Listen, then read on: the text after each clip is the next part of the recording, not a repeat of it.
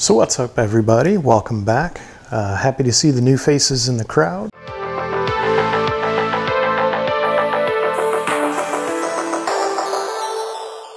This beautiful thing in the mail.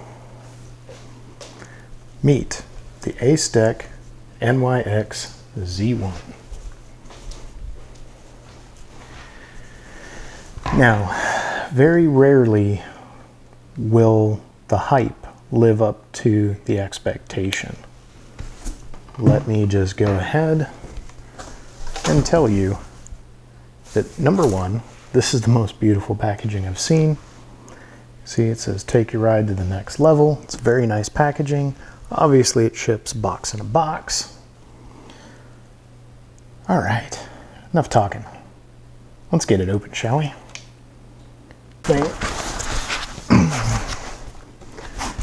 Very nice packaging, very nicely formed. Um, there are a lot of other Chinese manufacturers that can definitely take lessons from how this board is being packed. So I got to get this out of my way a little bit. Father loves his car more than life itself. A man with priorities so far out of whack doesn't deserve such a fine automobile. So yeah, man, this is what we're looking at.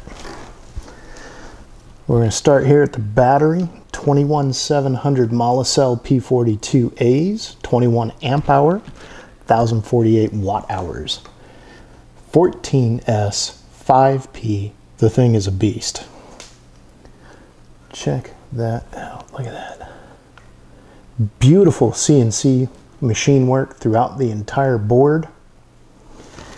And, and you guys can kind of get a feel for what I was talking about with the packaging. Now this is Beautiful, beautiful packaging. All right, enough talking. I'm excited in case you guys couldn't tell. If you're liking this and you're getting value out of it, hit that thumbs up and subscribe. Love to hear from you. So first off, we've got two sets of tubes and tires. One, two. The next thing we're gonna check out is the charger. Now the charger is a 100 to 240 volt, 50, 60 hertz, 3.5 amps, and the output is 58.8 volts, 4 amps. The um, Eastgate guys, Eastgate manufacturers, Acedeck, you guys are close. I love this type of connector, but I really love Cannon plugs.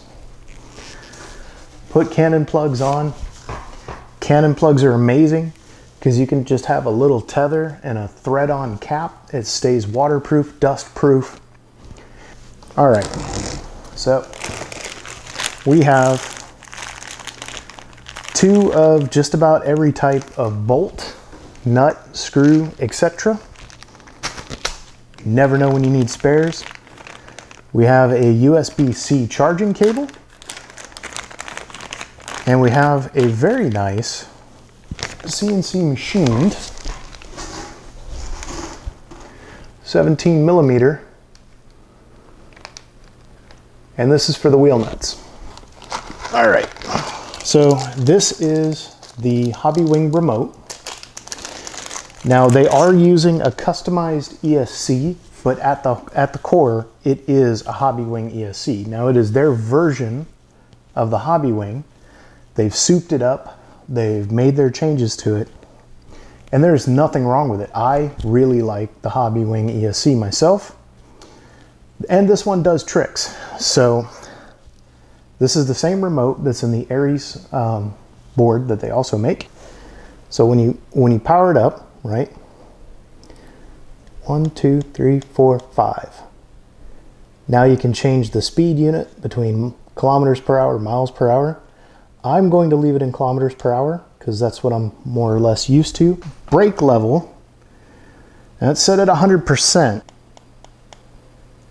Oh, there we go. So you got to press it eight times. Eight times accesses the advanced menu. And don't worry, we're going to be going more in depth a little bit later on.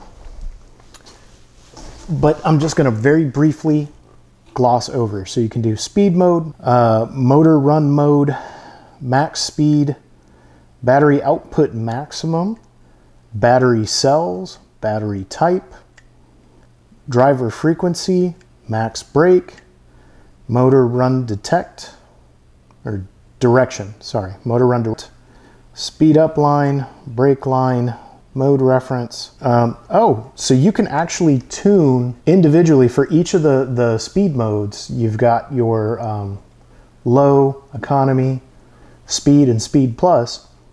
You can actually go in here and tune each of those. So if you're going a little faster and you want a little bit more brake in the S3, you tune that in. That is really neat. And you can apparently uh, tune your acceleration curves. Wow. That's that's that's that's pretty that's pretty freaking awesome. So that is pretty wild. This this this is this is neat. I, I was not expecting this. Um, I've been told, and again, you know, you you watch the videos and you hear about people talking about, um, you know, some of the more advanced features and stuff like that that they've been offering. But un until you see it for yourself, guys, I'm, I'm, yeah, this is awesome. You can. It's in zeros mostly. Zero one zero one one zero zero one zero one. What does it mean? It's just gibberish. This is awesome. You can limit your max speed, uh, battery out max, battery cells, battery type. Yeah, dude, there's like all kinds of stuff. And you just, you thumb up or you thumb down to move up or down in the menu. You can press the power button or the mode button to affect your changes. Uh, I'm sorry, I'm tweaking out on this and I'm, I'm trying not to because I'm, but yeah. So single speed mode, you have adjustments. Now I'm not gonna adjust anything right now. Uh, I'm gonna play with it first and then we're gonna see what needs to be adjusted and I'm gonna tailor it to myself. So you've got low mode reference, low mode current, low mode speed line, and low mode brake line. So I'm assuming that's how you can adjust your braking curves, your acceleration curves. Um, I am not gonna pretend to be an expert on any of that. If you tap the mode button you can back right out. Like with any Hobbywing, double tap forward, double tap reverse, double tap back to forward. Acedeck, if you guys are listening, I greatly prefer a manual switch. That's me. Uh, you know, different strokes for different folks. But every time you tap it, you've got low, economy, speed, and speed plus. I'm gonna go ahead and turn this off just so I don't accidentally run it in the box or something crazy. I also wanted to give a little shout out to Thomas B-Boy Stretch. Um, you gave me some advice on which bindings to choose for this board, so thank you very much. I've got a set of the MBS F5 bindings on the way. More on that later. Next up, we've got this beautiful carbon fiber bull bar. Hoping that this comes out on the camera because this really is gorgeous, guys. This is this is really well done. Now, Acedeck informed me, and I want to make sure that you guys know, um, this is not like superior crash protection. This is a place to mount a light and maybe help you maneuver the board around a little bit because this thing is 21 kilos, 46, 46 pounds. Uh, so it's, it's a very heavy board. That being said, um, I think it's a very well built board. The next thing we find in the box are the shock blocks. This is their version of the uh, Matrix 2 shock block. Also of note, there's a company called Radium. They make an adapter so that you can use the Lacroix Hyper truck bushing the Matrix 2 types truck. That's kind of cool. And, and as this unboxing goes through, you guys are gonna see there's a lot of similarities between this and the Lacroix. And I think that's cool. So the next thing we're gonna find is this thing seems to come with every different power cable under the sun, and I think that is awesome because as somebody who has moved halfway across the world and back again, this, uh, I'm not sure if this is Australian or Japanese. I'm assuming that this is an Aussie plug. And then we've got the standard uh, two-prong plug, and then we've got the good old-fashioned America plug. Also worth noting, particularly with a battery pack this size, just as a word of caution and safety. Always plug your charger into the power outlet or the mains or whatever you would like to call it, wherever you're from. But when you plug this thing into the wall, plug this into the wall first and then plug it in to the board. Just want to throw that out there. You don't want arcing, you don't want sparking, you don't want anything that is not supposed to happen to happen. Now, Acedeck, I would love to see a more rapid charger um, come out, but that's okay. Uh, this does take about five hours to charge from zero to full, but this thing is a huge battery and you should get just about 40 miles almost. Um, somewhere between 30 and 40 miles of range. So that's a lot of range. If you're using this as a commuter board, um, this is not the most subway or public transit friendly. If you're, excuse me, if you're gonna ride the board to and from, uh, great, go for it. But if you have to take it onto the subway or a bus or, you know, maybe even, uh, I guess it would be okay in a taxi, but just kind of bear that in mind if, if that's what you're planning to do with this board. However, I just want to throw this out there. If you're a big individual, this is a great board choice for you. You're met with another layer of foam, and now we're down to the bottom layer. Pull all of these out. So you've got a pretty cool carbon fiber wrench.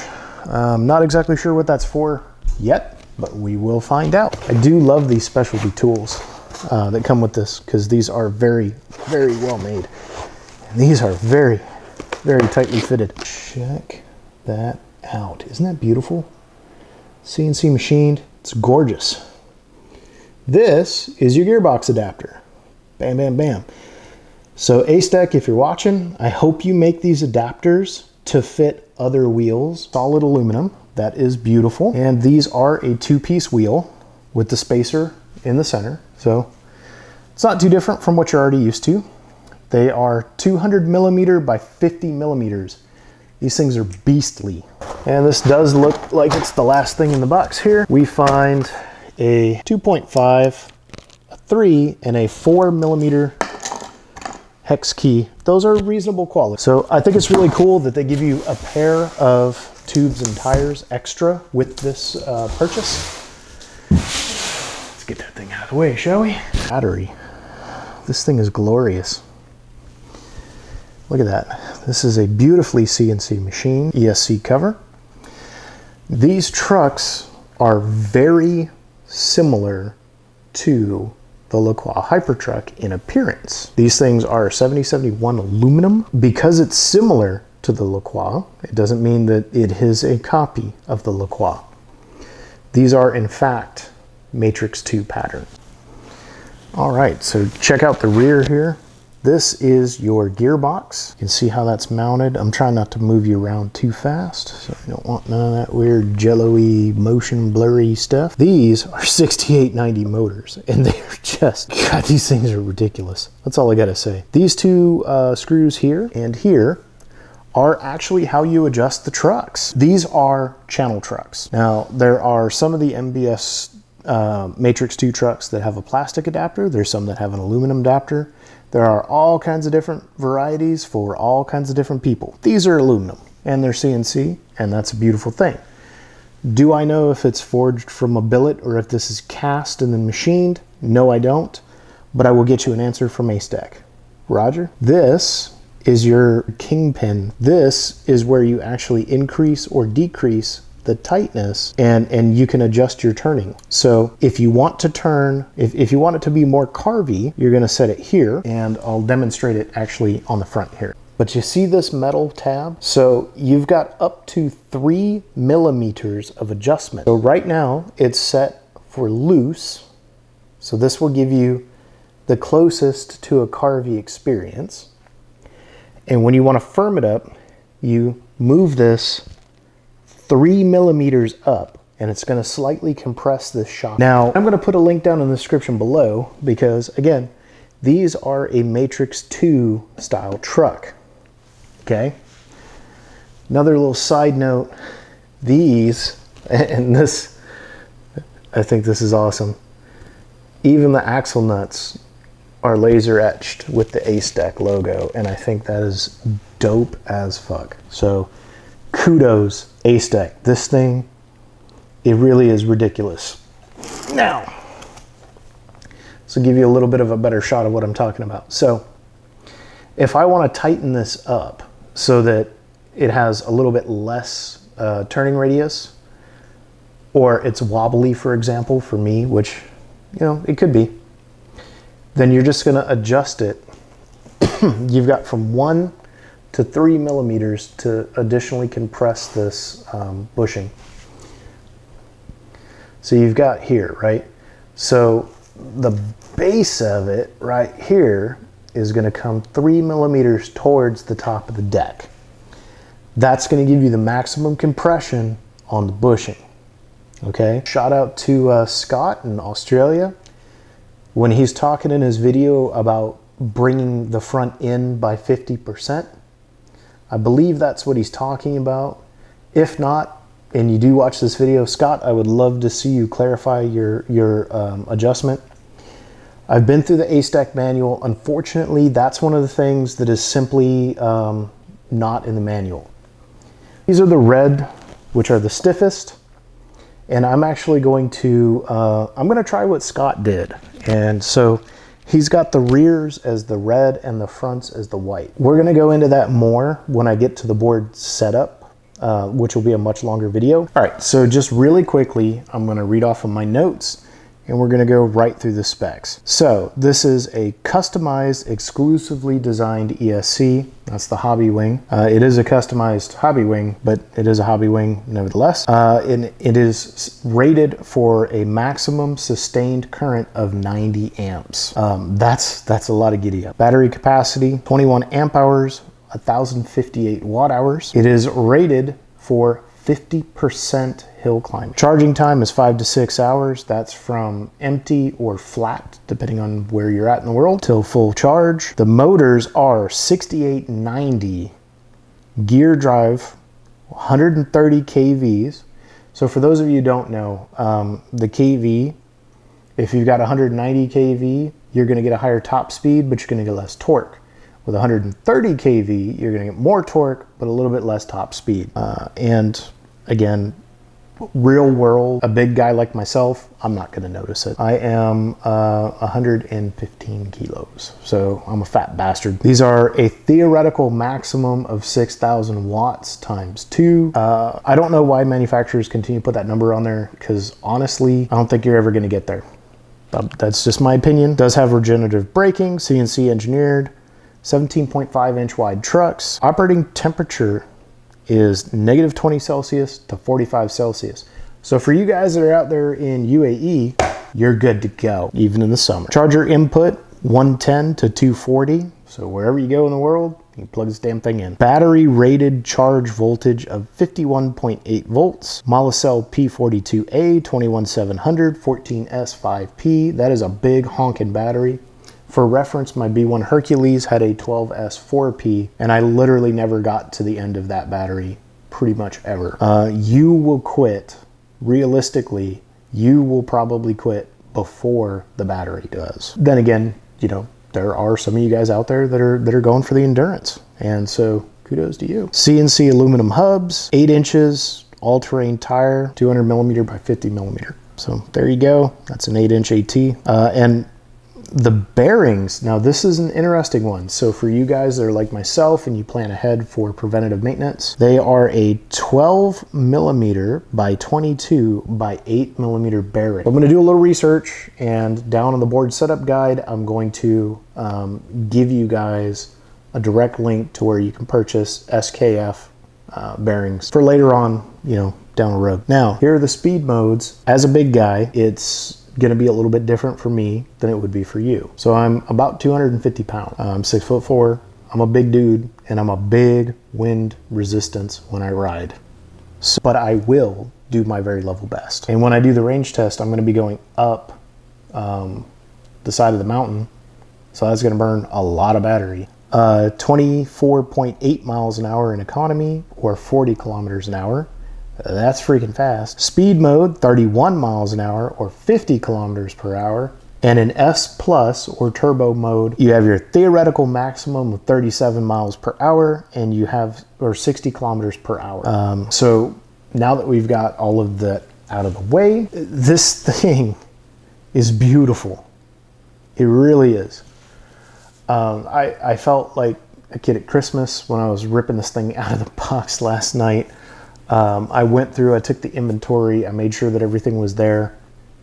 Um, when I go into my longer setup video, we're going to go into um, how I'm choosing to set up the suspension. And even as I'm doing the initial ride video, uh, I'm expecting and anticipating actually to have to stop and make some suspension adjustments. Um, always carry your tools, guys. Always come prepared. Always carry a air pump with you, uh, maybe a spare tube or tire. Carry the basic tools. Um, not quite sure what this is for yet. Uh, we're gonna figure it out. It doesn't go around the axle nut. Oh, it, it does go around the wheel nut, but I don't know that I wanna use, ooh, okay, that's interesting. It would appear as though the nuts are Loctited. Oh, yes, they are. The nuts are Loctited from the factory. And that's cool because, oh, good God. Yep. So expect that when, you, when, when it's your turn. Ugh. And that's not a bad thing. But trying to get a, a look at the axle because I want to see if these are hollow or if they're solid. Um, because that was one of the reliability improvements on the Matrix 2 um, for like their, their top tier model was they actually used a hollow um, axle. Earlier boards that went out to the reviewers. On uh, Scott Davies and Cami Junes, you'll notice that this hardware is different. So on their boards, this is actually a, a threaded um, with a nut on the bottom of it. So I've noticed that they've taken um, some feedback that I don't know who provided them, but kudos. Because that was actually going to be one of my feedback points, um, but Acedeck has already got it. The only thing I'd like to see a little bit better is just some flush mount, um, or maybe even uh, countersunk heads. Just a, you know, just a just a suggestion out there for Acedeck. Another um, initial bit of feedback that I have from doing the documentation or going through the documentation. Um, if there are torque specs, let me zoom you out a little bit. If there are torque specs, I would really love to get them. So Acedeck, please, if you can, publish some torque spec data.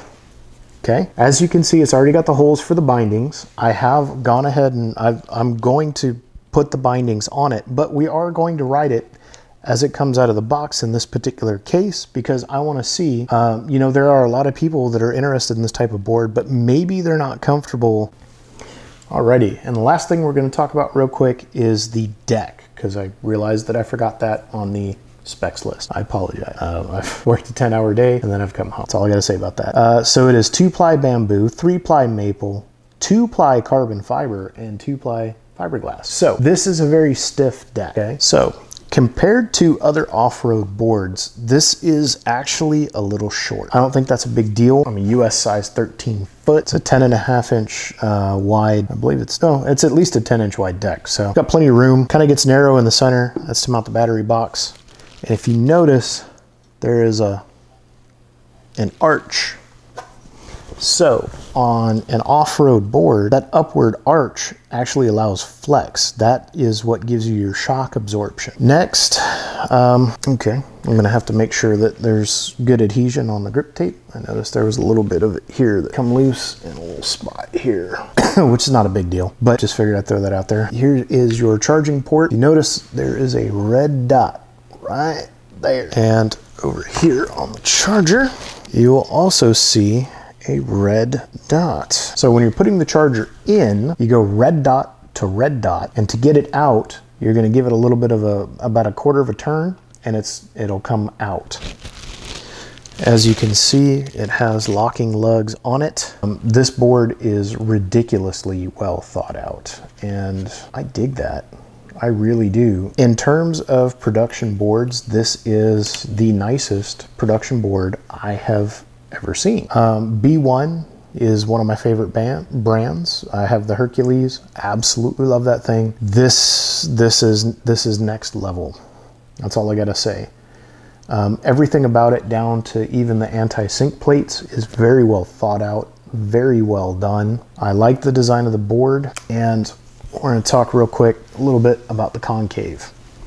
So it's flared at the sides, low in the center, which is how I like it. You've got plenty of room to maneuver your feet around, even though it looks a little bit compact. And in fact, it might actually be slightly cramped back here, but I don't think I'm going to have too many issues with it. Uh, I've seen some of the other uh, YouTube reviewers that also have uh, big feet, so they can do it, I can do it, and I will give you the feedback on how uh, I like it, and we'll talk about how well uh, big people fit on it because this thing definitely has the power to do that.